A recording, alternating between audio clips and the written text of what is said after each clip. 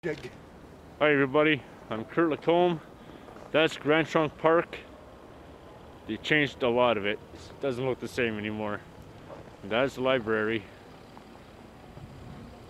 Used to be a firehouse. It's old, it's from 1891. Yeah, that's pretty old.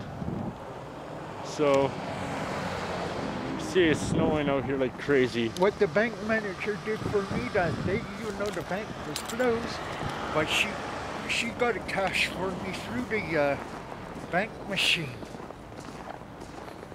That's right.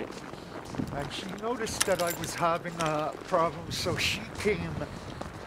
She unlocked the So bank. she came and locked the door. She unlocked the door and came out and helped me. What she done now?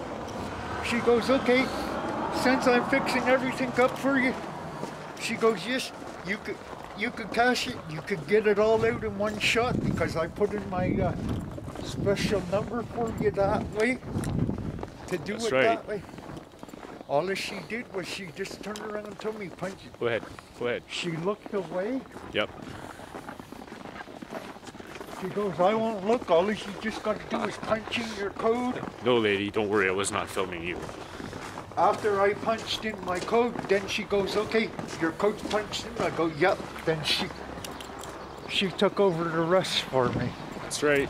Well, since she knew that